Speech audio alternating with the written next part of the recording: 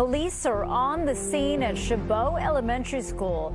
This is in the Rockridge neighborhood close to the BART station. This is new video in from NBC Bay Area Sky Ranger over the scene. You can see police heavily on the streets. They're blocked off. Campus has been evacuated. Some students were turned away from class this morning. They were sent back home with their parents. Others, we're told, are being held in a specific area to be picked up. No one has been hurt. Now, police now confirming that the school received this most recent threat around 8 o'clock this morning. Now, the threats first started online this weekend.